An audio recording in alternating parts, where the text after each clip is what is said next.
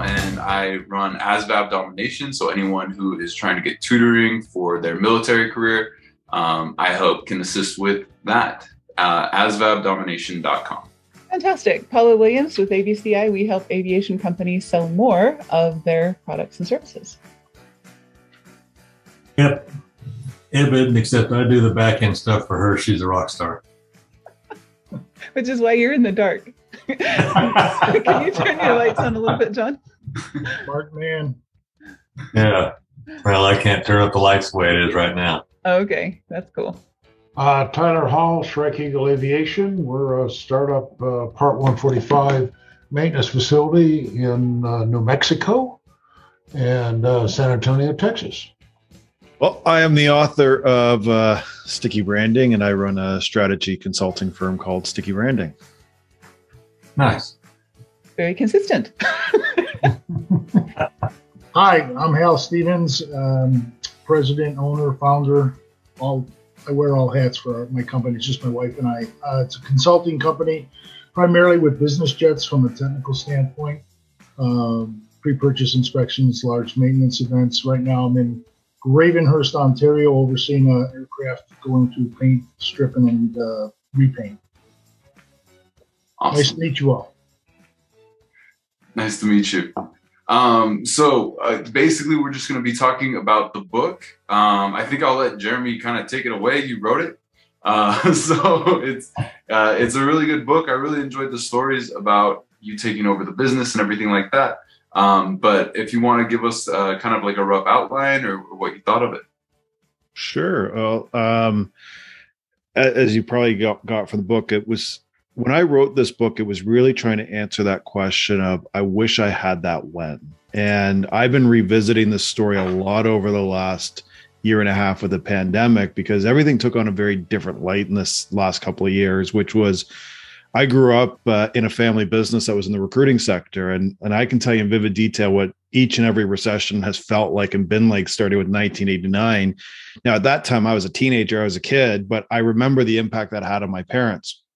And so when I joined the family business, that had always been a dream of mine. I'd, I remember in high school at one point, I told my mom, when I grow up, I'm going to take over the family business. And I think she panicked a little. She's like, "Oh, that's nice." um, but she talked to some of her friends, and and my both both my both my parents did, and, and who ran other family businesses. And they the advice they got was, you don't want to have a lucky sperm and that's just entitled to the business you got to set some barriers to entry. So for my brother and i the, the rules that we had were we had to have a university education we had to work in the real world for at least four years and there had to be a job and we had to be qualified for it.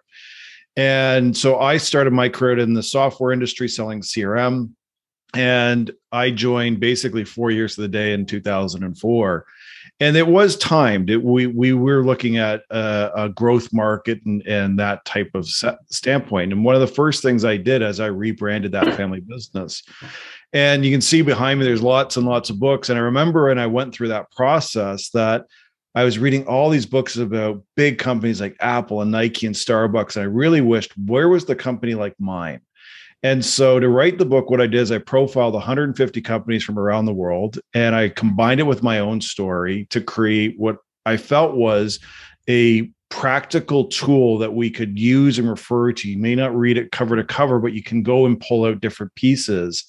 And and so the idea behind it is how do you grow your business and brand? And any business of any size can grow a sticky brand. To me, it's about creating that first choice advantage.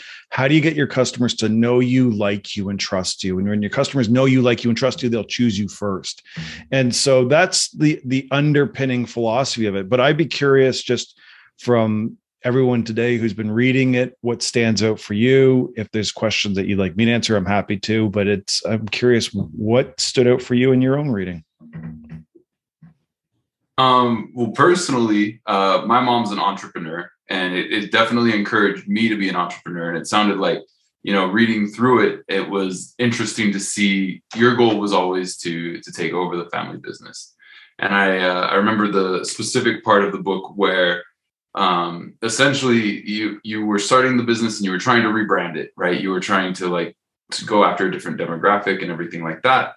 Mm-hmm. And they were really calm when when it didn't just like explode, right? Like you expected a, a really big change uh, pretty immediately, and I think I, I deal with that myself as I try to to launch my business. Every new launch and every new product, I think, is going to be the the thing that puts me over the edge and everything like that.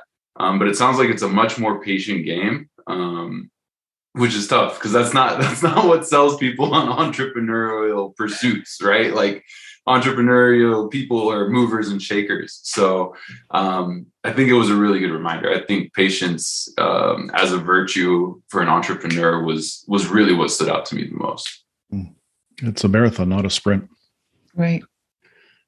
That's And then there was a chapter on tilting the odds requires sacrifice. Mhm. Yeah, well, I know an awful, I, we meet a lot of companies who can't go through that for one reason or another. Uh, we've been through it several times to uh, have minimal revenues in order to function and jump or drive or grow forward. Mhm.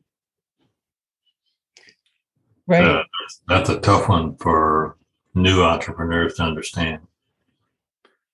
Yeah, it's making those choices. It's tough for established businesses too, because uh, if you think of the revenue plateaus I talked about in the 12th principle, in order to grow your business, there's natural plateaus 1 million, 5 million, 10, 25, 50, 100, et cetera. And at each stage, you're building for that next level. But to do that requires a sacrifice. Uh, I can give you a quick story on this. Could that might reinforce what, what you're saying, John. A company I've worked with for several years is a, a Canadian company called Central Smith. And if you've eaten ice cream at any Canadian restaurant, well, chances are you've eaten their ice cream. They're one of the largest uh, uh, manufacturers for the food services sector. Now, when I started working with them in 2016, they had I believe, nine market segments that they were targeting. And we did the math. So the question was, how do we grow the company? And and 80% of their marketing dollars went into scoop shops because that was the most visible area of marketing. That's where they had their major competitors like Kawartha the Dairy and Chapman's and Neilson and all these other uh, uh, Canadian ice cream brands. And the problem was when we did the math, that revenue accounted for 0.7% of the total revenue. So d- doubling that business didn't matter, but it took the lion's share of our dollars. And so in 16, we repositioned the brand to focus on food services and co-packing. Mm. Now, through the pandemic, uh, taking that they were significant in the restaurant trade, that business went poof. It basically disappeared on in March of 2020, yeah. with every restaurant being closed. But the I, interesting part was the co-packing side grew by about five times. And so with that, we we doubled down again onto co-packing. Now, within these types of sacrifices sometimes they're they're more emotional than spending money. In order to grow the next level we had to make another set of choices. And we actually segmented their their customers into fish. So we called them whales tuna salmon goldfish and narwhals. Nice.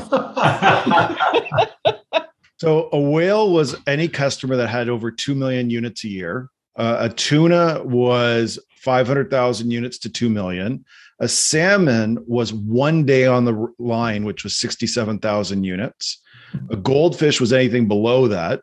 And a narwhal was basically unicorn services, a fish with a, a horn. Yeah. So those were professional services. Right.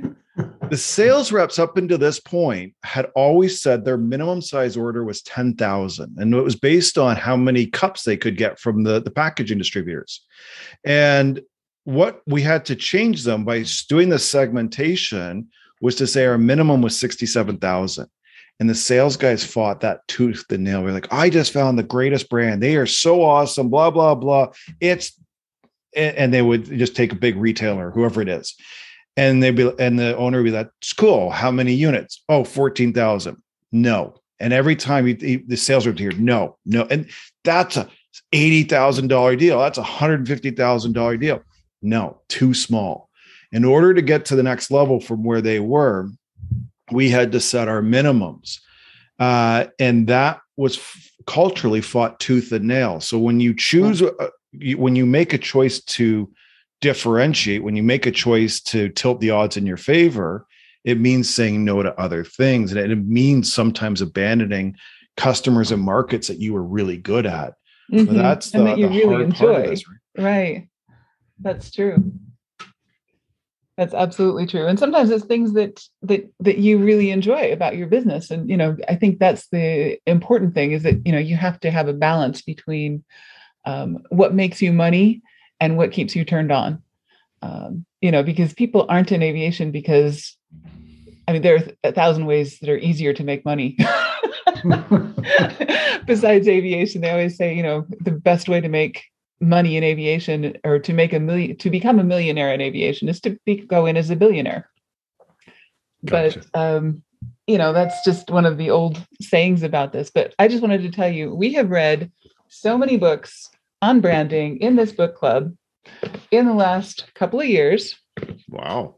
Um you know and they are all good for different reasons. Well all of these are good for different reasons um, but I really did enjoy yours, and I think you know it was probably the most readable and practical of the bunch. Um, I don't know if you would agree, Mickey, or, or or John, or you know, I guess you've been here the longest, so Yeah, no, I, I completely agree. I thought it was uh it was much more story based, which Mhm. is tough to do with a marketing book. Um Yeah. so I enjoyed that. yeah, Well, I well, it's not recent now. When I went through business school, the marketing approach was you assume that you're gonna your client is gonna be Coca-Cola, Pepsi, those guys, and they spend 70% of every dollar on marketing. Mhm. Every dollar of revenue, 70% of it. Well, we don't do that. no, I mean, nobody, no company I know of does that. Mhm. So that means all the marketing that they taught us in in business school is just out the window, and you got to start over. right. And if Mhm. you're Coca Cola, this is you know fantastic. But if you're not Coca Cola, it's hard to apply. Exactly. Yeah. So And And how much do you spend in, in percentage of revenue on marketing? It's uh, sales and marketing. Group the two together.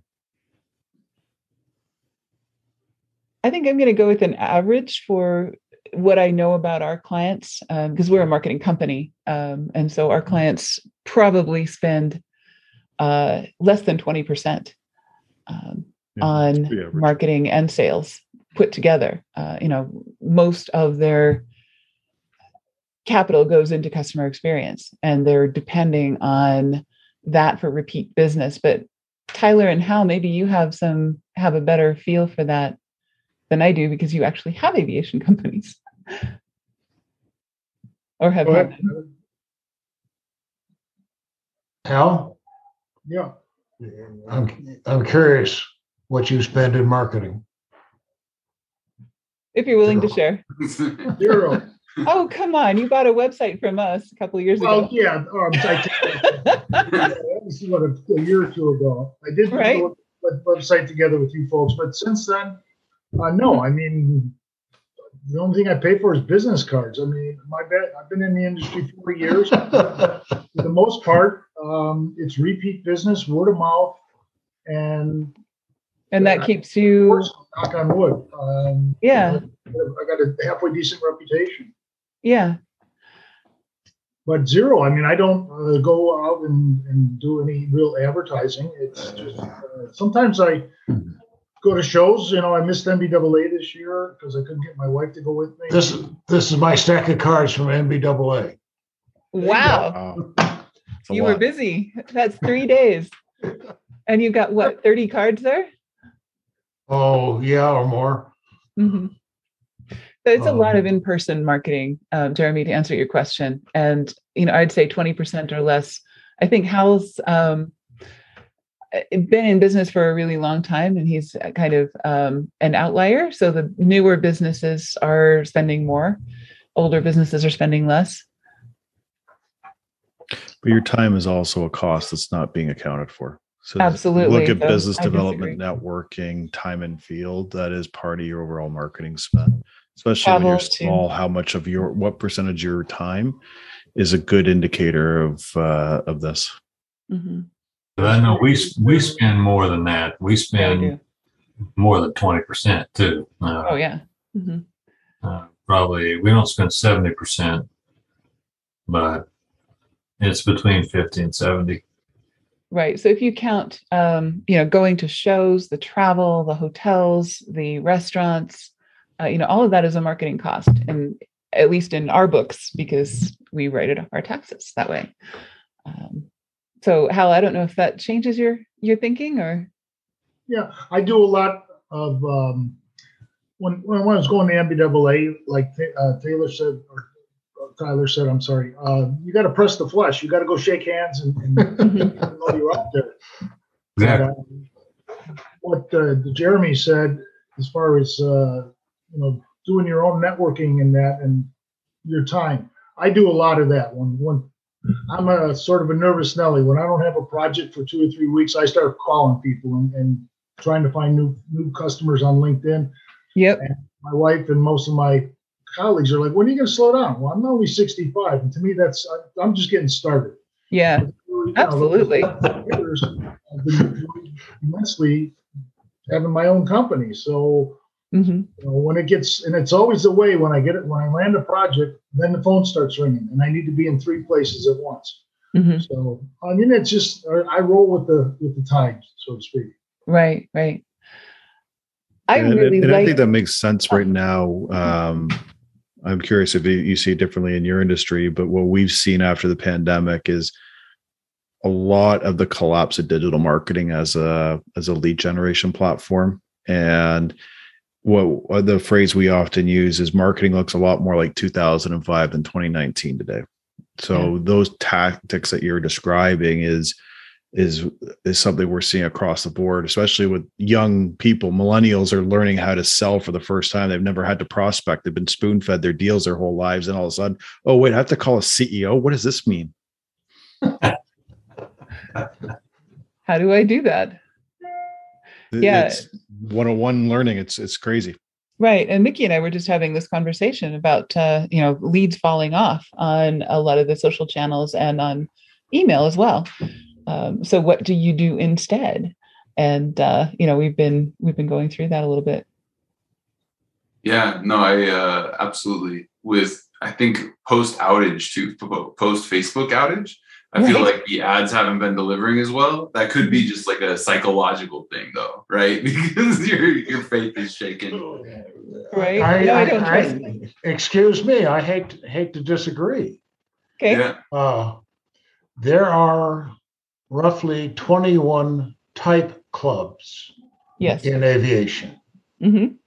and I've started joining everyone I can find hmm because these are people that have problems and they're asking their cohorts that all fly the same Bonanza, Cessna, Piper, uh, King Air uh, uh, citations uh, f- for, you know, where do I get this part? You know, where can I get this? And, you know, in the aviation maintenance, you know, I, I definitely want to be, you know, a part and watching those uh, But conversation. conversations going on daily. yeah. You know, where can I get this? Where can I get a pre-buy on a 310 in Oklahoma? You know, came up the other day. Where, what? How should I redo my, you know, whole panel? And what do I do first? Right.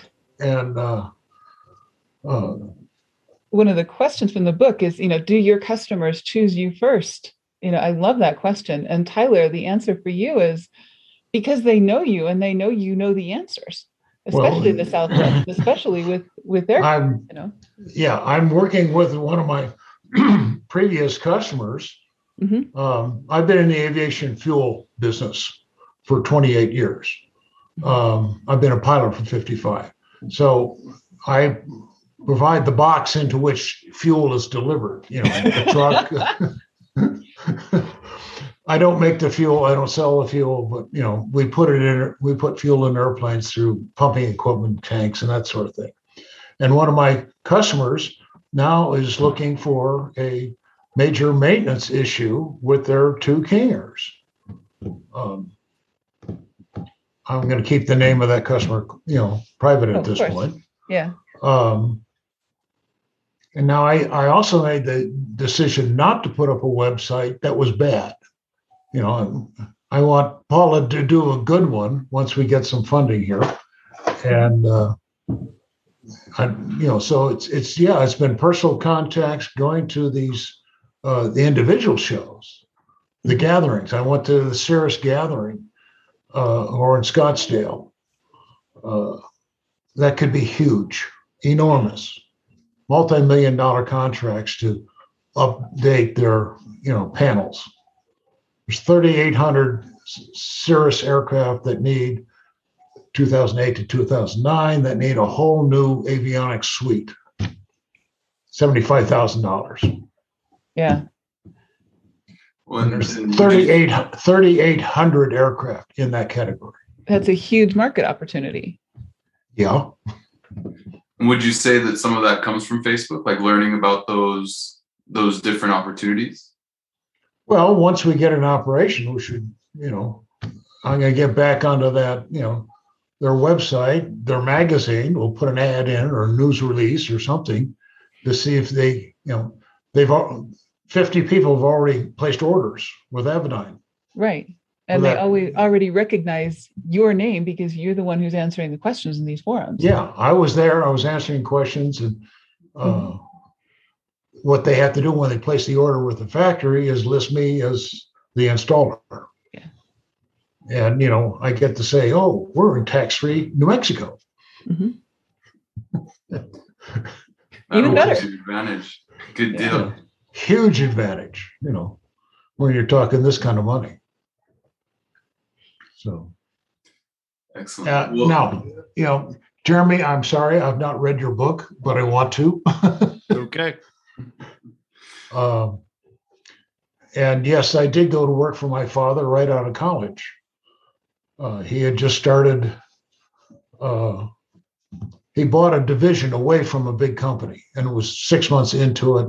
And uh, fortunately, I was able to use my business degree to straighten out the accounting and do CRM and, uh, you know, books, log, record keeping, and all kinds of stuff to help him move forward.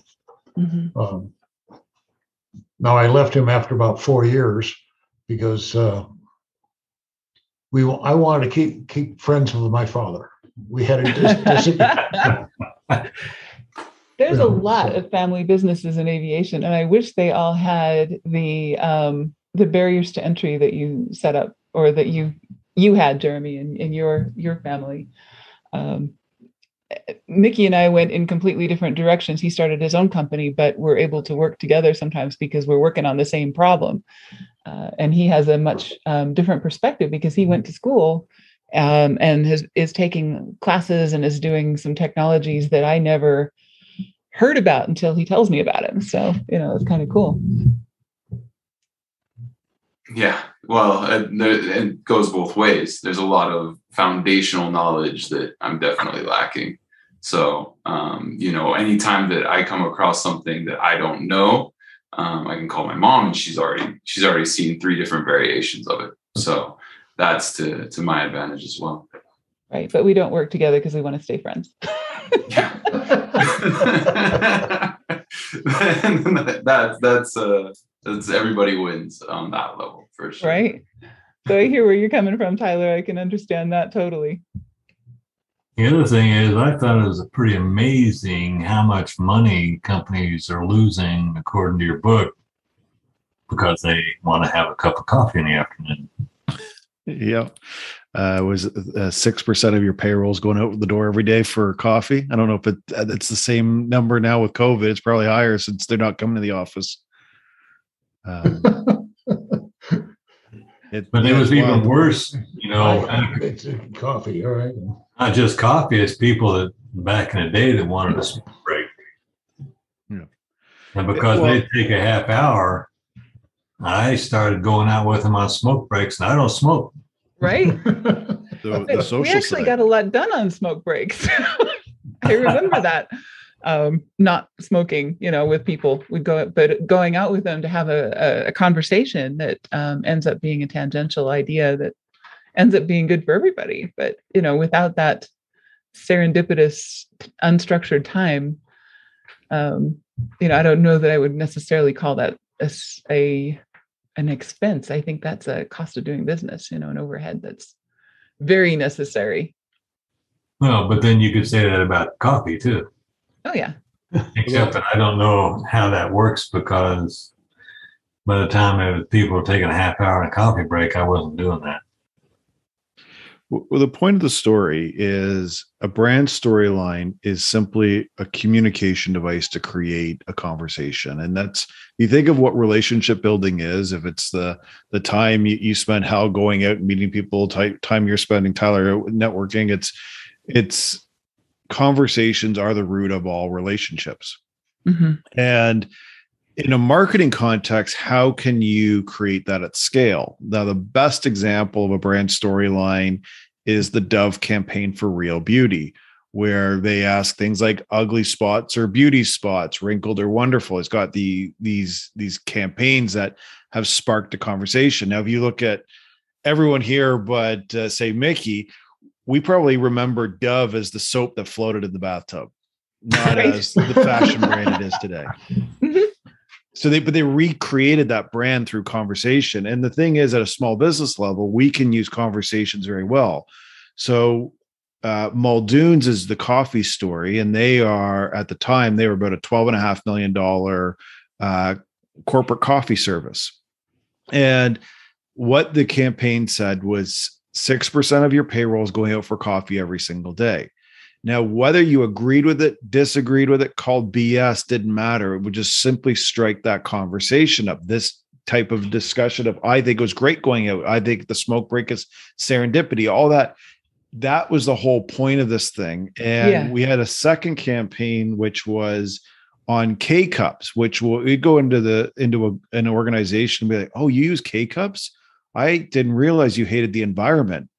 And and they would be shell shocked on it. But we train the sales reps to go into the sustainability officer and go like, you know, you could build like your building four times over with the amount of K cups being used here every year. And they'd be like, I didn't know. So we would actually get K cups banned, and then they'd have to go back to tender, and and that would set us up. But it all started with provocative conversations. And I think that's something that we can all do. Mm-hmm. One of the tactics I used aggressively last year was um, h- how has the pandemic affected you? And our whole thing was around crisis marketing, which was we'll show you how to recover the customers and revenue taken by COVID. And that brought on for us, on average, a new customer a week through the height of the pandemic yeah. uh, simply on the back of speaking to a conversation people needed. Yeah. a cat here now too. no, that's this is great. A, this is the pandemic cat that uh, got adopted through this as well. Sweet. Well, you're keeping him, aren't you? yeah, it, well, he came as a kitten a year ago and it didn't leave.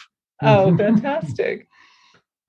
but yeah, no, I actually we have been encouraging a lot of pandemic stories, especially for you know our charter companies and others. You know, how much money are you losing um, waiting for the airlines, or you know, because your people don't want to be in the middle of that, you know, and because of all of the delays and because of all the complications and everything else, how much money are you losing because of all of the uh, the missed opportunities? You know, your mm-hmm. salespeople mm-hmm. sitting around for a day is a cost and uh, you know so that's a huge conversation that uh, people can get into uh, in pretty much any aspect of of um, of aviation. I don't know if if tyler or hal if you have a a story that you're using lately or if there's a something you want to share? Um the the trend that i'm seeing is is everybody's putting these aircraft back into service like my customers with these two aircraft sitting for three years. Yeah. They realize that they've had a great aviation department going way back that saved them a lot of time. And now all of a sudden, you know, if they got to go from here to Washington, D.C., and the president of the, of the company gets stuck in Dallas for a couple days because the cancellations or missed connections. You know, this doesn't work, and and they they go to a lot of places that are not big cities, Yeah. little places, North Dakota, South Dakota, you know, Idaho, um, with Yeah, all three their stops other, on an airline, right? yeah, Mhm. yeah. and heck, you could drive there faster than sometimes, you know. Yeah. Um, and so, and the interesting thing is, some of these companies, from what I'm hearing at at Osh, uh, Oshkosh and NBAA, was uh, they're putting their whole teams on the airplane, not just the CEO.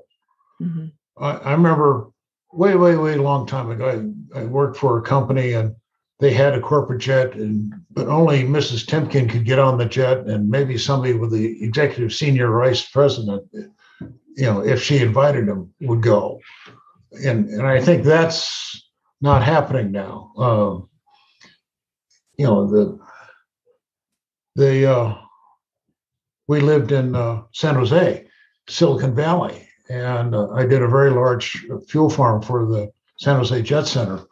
Um, this is the home of you know lots of big people, Apple, and you name it. But anybody can get on those airplanes to go wherever they're going if it was an open seat. And some of them were actually running a little airliner around to a bunch of stops. You know, there was no way to go from San Jose to Boise, Idaho without three stops. Well, their airplane went directly. And Yeah. So that's that's happening. Um, and another thing happened uh, during the pandemic. Some of the avionics shops, in fact, most of them were reporting record years of sales Yeah. because they were taking even the 210 and the 310, those smaller aircraft, and upgrading them, getting ready to go back in, you know, to travel this, you know, back in the heart of that stuff. Nobody wanted to get on the airlines. Yeah. And, and even now, uh, the airlines are busy and they're busy to the point where they have no extra capacity, which is causing some of this problem. Right. Um, So what so- would you do to create like a conversation piece about that? Like what uh what kind of statement would you put out into the world so that your your brand becomes top of mind? I mean it, it sounds like all of these Not- conversation pieces are timely. And so if that's what's going on in the in the market, what would you put out? I'm not sure. You know, I'm looking for, you know, that's a very good, solid question. How do we market ourselves? Now, I'm a maintenance guy, not aircraft sales, but Mhm. how you're seeing, you know, no inventory in uh, for sales of Yeah. corporate jets, or at least ones that are ready to go. Now, uh, I am also seeing uh, Duncan came up and said, announced, oh, we did this G5, complete re- restore it. Um, Standard Aero has an ongoing contract with um, one of the large charter operations to restore their older Gulfstreams. New paint, new interior, new, you know, the customer doesn't know the difference. Yeah. You know, to get on the big jet. It's it's a Gulfstream. Okay. Who who knows or cares if it's a G4 or G5 uh, that are 20, 25 years old. Um, Yeah. If they're properly maintained. And uh, this is the other thing that I saw at, at NBAA was the preponderance of new equipment, new avionics targeted to the legacy aircraft. Yeah. I mean, we're only building what 1,100 brand new aircraft a year. Uh, there's thousands of these aircraft out there that can be fixed up. Now, hell, isn't it easier to sell an aircraft with a new avionics suite in it than the old mechanical gyros? Yeah. I'm I'm looking at these guys with the two King Airs. Both of their aircraft have the old mechanical gyroscopic HSIs. Wow. And, and how are they going to attract pilots that are used to flying behind a Garmin 1000 full screen stuff? Or, you know, the uh, Rockwell, you know, 2100, uh, 21 system. Well, it's definitely like it's clearly your passion for sure. Like you clearly know a lot about what's going on in the industry. Um, it's just tough to, I would imagine it's tough to break that down to the people that you're trying to target. Um, so do you, do you, Jeremy, your mom have anybody like any examples of people who are doing these conversation pieces right right now? Jeremy's got lots, I'm sure. In fact, yeah, there's a whole book full of them. well, the ones right now are very much pandemic driven and supply chain driven are the two hot issues right now. Uh, and I think the route that you're looking for is what is the customer's burning need or issue? Uh, I'll give you one from the uh, the travel world. A company I've worked with for a few years is called Cascadia Motivation. They're in the the loyalty rewards incentive travel space. Now, no worries. No worries. I um, got dogs over here, so if they start, I'll I'll, I'll break even with you here. Yeah. No worries. she likes to make appearances. Uh, the uh, so Cascadia felt and challenge had the issue uh, through the pandemic where they basically lost 100% of their business. 90% of the revenue fell through last year. And that was because of the, the collapse of, of corporate travel. Tourists, yeah. so we tr- were able to kickstart that through last uh, through the summer uh, with a very simple brand storyline that said, "When the world opens up, where do you want to go?" And then we followed that with did you know that 50% of group bookings are sold out for 2022 and 90% of group bookings are sold out between September and November of 2022? Do you fear missing out another year? Then we tag that with, oh, and another interesting stat is uh, rates for 2023 are up 40% what that did was when people were not giving us the time of day to talk about anything else, the fear of missing out, that FOMO story, had them buying. And for the first time in the company's history, they had customers that were buying three years of, of events at one shot simply because of uh, that. The uh, so that's uh, so when you look at this issue, and I, I, look at just my own travel issues right now from a business travel perspective. Uh, my cost of flying has has doubled uh, at least. Uh, like I, I'm supposed, to, I was supposed to go to Italy. I might get canceled at this point, but um, supposed to go to Italy in the next couple weeks, and uh, return ticket on Coach Premium was fifty five hundred, and there's no direct flights. I it's like a four or five stop nonsense to get there. The only way for me to get there is through New Jersey. Um, so it, it's such a, or my brother lives in Cincinnati. There's no direct flights from Toronto to Cincinnati anymore. I've got to fly through Chicago or somewhere else. And it's a freaking nightmare and it's expensive. So, yeah, business travel to streamline process and not have to go through the COVID headaches, mm-hmm. you'll catch people's attention. Oh, yeah. And then the question will be is so you got the burning, you have the top level industry issues, supply chain is the biggest one. Um, it's on the stock market, CNBC every single day, inflation and, and supply chain issues. But what is the direct effect to your market and services when you can connect the dots there? Then people go, Oh, that's interesting. Tell me more. And now you've got a solution. And that's where the power really kicks into that. Right. I, I asked a couple interesting questions at NBAA and got a conversation with Avidyne about the, the chip thing. Yep. And how is that affecting it? And they say, well, we got this and we designed it and we can assemble it in Florida with US made chips immediately. Yeah. You place an order on Monday, it'll go out the door newly constructed on Friday. Amazing. I thought that was amazing. Yeah. And some of the other upgrades that, that I saw were drop in replacements, not necessarily full suites of stuff. And that was all US made, US chips. Right. And Buy America is a big topic right now too.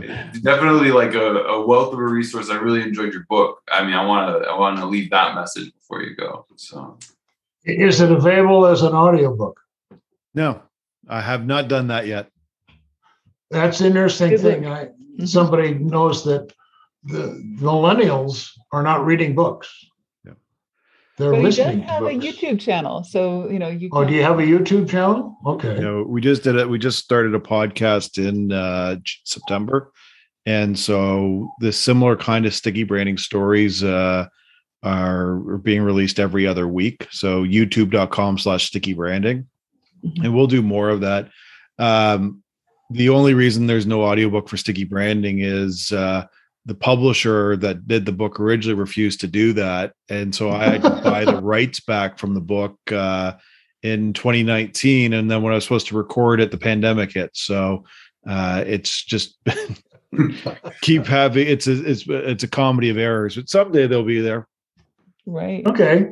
Just I appreciate you coming, and I really appreciate you uh, sharing your your um, experience with us. And I know this is not probably your usual uh, venue for a book club. You know, it's it's kind of specific and super nichey, but uh, I really appreciate you taking the time with us. Yeah, so do I. Thank you very much. That's it. well if anyone has a question or anything feel free to reach out to me anytime i'm on all the social networks and uh thank you for reading the book it's an honor Um, Yeah. Um, so recently I started doing uh, an ad campaign that's kind of targeted. I mean, it hopefully tells a little bit more of a story. Um, I have a, a distinguished honor grad, which is kind of how the military says um, your number one student. Um, and so I have I, I had a student work with me for nine months. He got his uh, job of choice and everything like that. And so we had a very in-depth testimonial type thing. And so my latest ad campaign is definitely more story focused. And it sounds like that's that's kind of one of the major messages of this book is keeping it um, related to to a story. So uh, I'm really excited to see how that does. Um, and it's it's tough to maintain that patience, right? Like I just released a new ad last week, and it's like, why don't why isn't why aren't people like throwing credit cards at me right now? so but yeah so that would be that would be my relationship to to the story for sure uh how about you mom Um, well, I was going to to share a different story, but I think one came to mind while we were um, talking, and that is that you know talking about the driving need that people have and stuff like that. So you know, one of our clients charters small aircraft, and I know Tyler and Hal both of you occasionally work with with smaller aircraft. Um, and they have a hard time chartering these smaller aircraft sometimes because people have a little bit of trepidation about that, especially if they're a first time charter customer. Um, so, you know, the story is basically does this small airplane make you nervous? Here are its security statistics, you know, versus this is what happens on an airline and showing some of the the craziness that's going on with delays and um, you know uh, fights and riots and all Fights and riots yeah, and- exactly yeah. and driving to and from the airport and everything else you know which scares you more you know, flying in a beautiful little Cirrus or, um, you know, going to the airport and getting on an airliner, you know, and I think for a lot of people, the answer to that question has changed in the last year or so. So that I think is a story that we could leverage. Um, but anyway, so that's one that came to mind while we were talking and reading. But John, you had something. One of the things that changed my mind on a lot of things we've done is, you know, nowadays it takes you, you got to be, by the time you get in the car and you have to be at the airport, that's four hours before you ever get on the airplane. And then the average flight is three and a half to four hours. And then you got what, two hours before you get out of the airport in a rental car and get to where you're going, at least to the hotel. For us, we'll drive. Mhm. I mean, Southwest, Southwest used to compete with people that drive. That's how they started the airline. And uh, right now, I mean, there are people, lots of people, who uh, absolutely refuse airlines. They, the airline no longer is serving its function. I, I, I canceled my flight on Southwest because they sent me the email saying we may not be flying. And I drove from Albuquerque to Las Vegas. Mhm. Yeah. 10 and a half hours. Well, it was five and a half for us, but we drove as well. um, Hal, your corporate customers, are any of them considering instead of buying a new, a new airplane or a used airplane to restore one?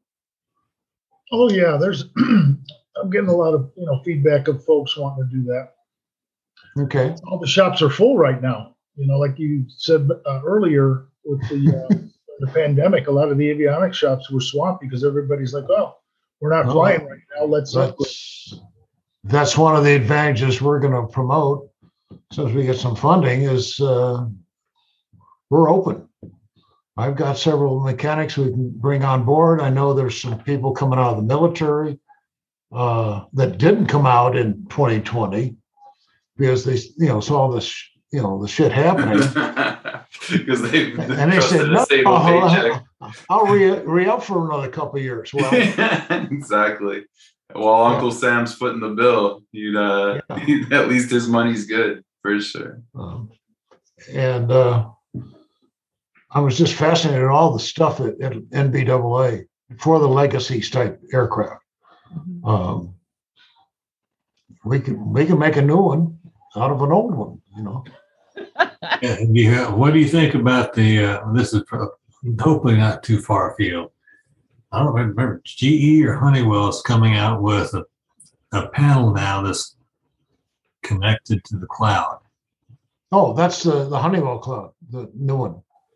Now they're they're pushing that into the rotorcraft, you know, inner city stuff.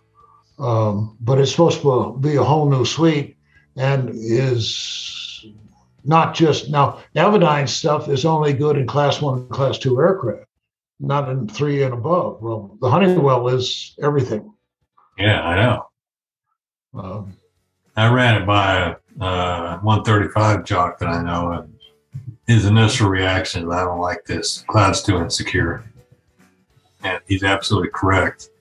In fact, uh, the government has canceled a Pentagon tra- uh, a Pentagon contract with Microsoft for the cloud because the cloud's too insecure. yeah, but Uh, let's- Hal, what's your uh, website? Uh, it says Sapphire Aviation Solutions.com, It's a beautiful put website. together by Paul and John. Thank you very much.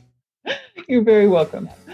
Okay, my name is Mickey Gamonal with ASVABdomination.com. If you need any help with the ASVAB, uh, let me be your first call. Paula Williams with ABCI. We help aviation companies sell more of their products and services. Aviationbusinessconsultants.com. John Williams, Ibid. What she said.